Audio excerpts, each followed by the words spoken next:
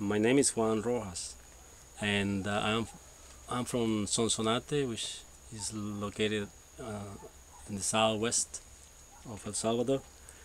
Um, I I have a, a history with um, permaculture that is dated back to 1990. But for me to, to come in touch with permaculture, I needed to go through a nightmare due to the war. So um, I was in the early 80s uh, and, and, and at the National University. I was studying.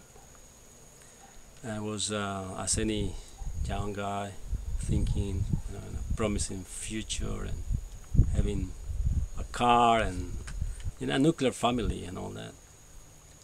However, um, the uh, war broke on um, January 81 and then I, um, together with hundreds of students from the university, uh, needed to go out and um, work or, or uh, getting away from the country or joining the guerrilla, the revolutionary people.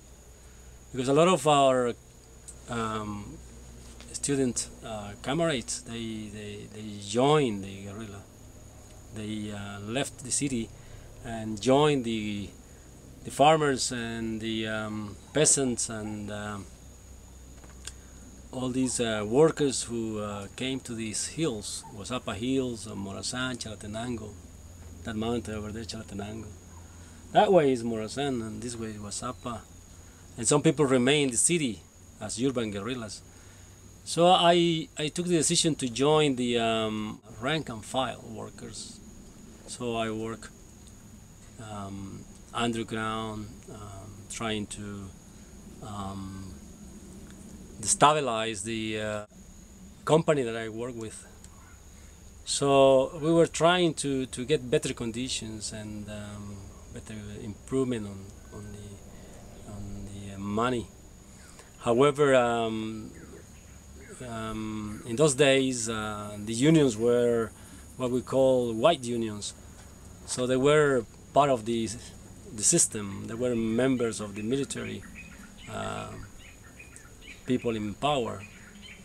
So that's why I, I, I refer that I was working on destabilizing these unions, trying to get a, a proper uh, representation of the workers and that led led me to have uh, to become a target for the death squads. So luckily I left before they could catch me. So I fled to Guatemala and then eventually to Mexico. And in Mexico I was um, um, I lived there for four years until I became also in trouble with the immigration authorities because they say that I was as well, um, meddling in internal politics.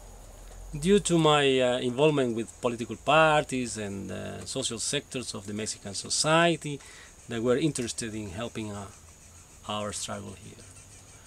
So once I got uh, that um, uh, notice from the immigration authorities to leave the country or to be deported, I um, I went to um, the, the UN High Commission for Refugees body in the capital city of Mexico and seek refuge there.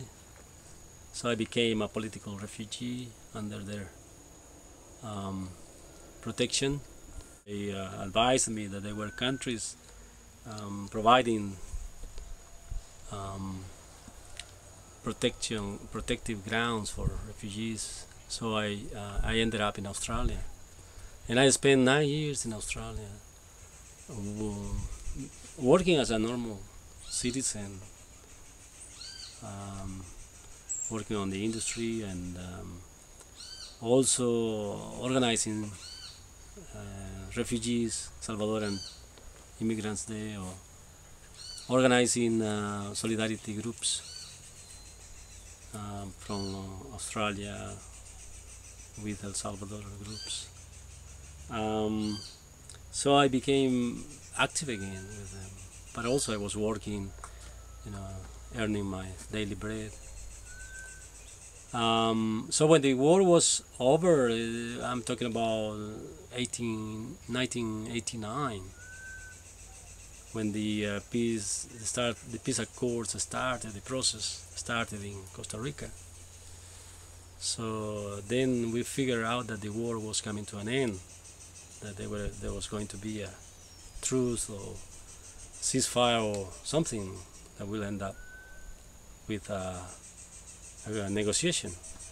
So um, I decided to um, to um, look for a way in where I could help with the reconstruction, post-war reconstruction.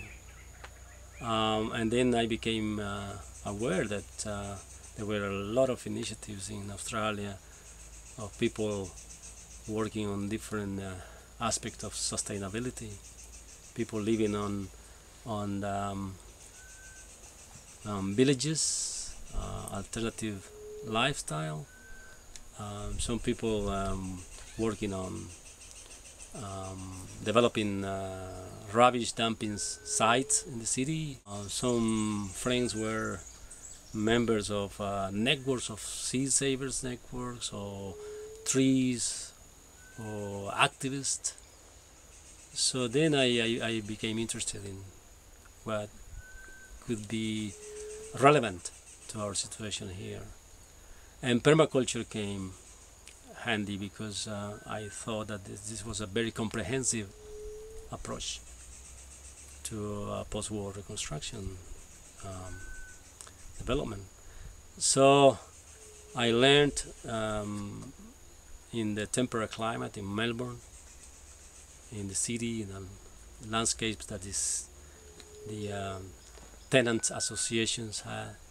So these homeless people or poor people in Australia, they, they they have this uh, opportunity to live in these tenant associations um, settlement in the big cities.